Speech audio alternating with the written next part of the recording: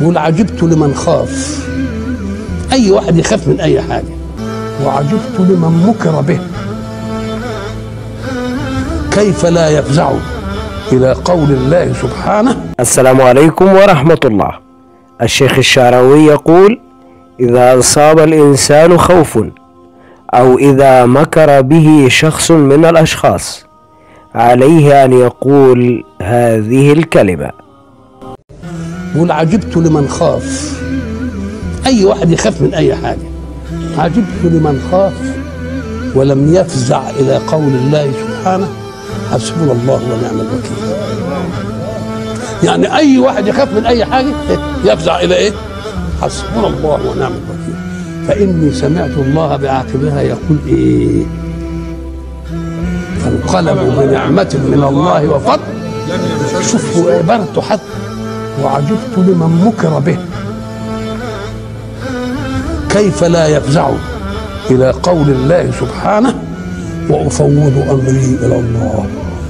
فإني سمعت الله بعاقبها يقول فوقاه الله سيئات ما مكر وقد استشهد هنا الإمام الشعراوي رحمه الله بقول أحد السلف الصالح وهو الإمام الصادق جعفر بن محمد حيث روي عنه أنه قال عجبت لمن فزع من أربع كيف لا يفزع إلى أربع. وذكر هنا الشيخ الشعراوي في هذا المقطع اثنان منهما حيث قال عجبت لمن خاف كيف لا يفزع إلى قول الله عز وجل حسبنا الله ونعم الوكيل فإني سمعت الله عز وجل يقول بعقبها فانقلبوا بنعمة من الله وفضل لم يمسسهم سوء.